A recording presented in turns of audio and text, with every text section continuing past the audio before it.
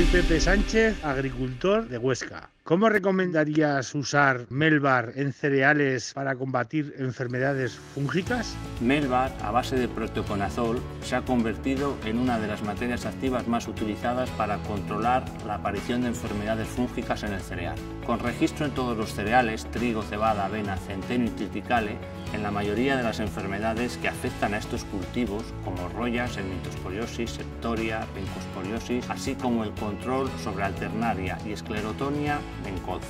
Podemos aplicarlo solo junto al insecticida o en mezcla con otras soluciones del portfolio Ascenza como trineo o placaje, ampliando el espectro, así como incorporando familias de fungicidas con diferente modo de acción para evitar la aparición de resistencias. Tú decides Ascenza, porque eres imparable.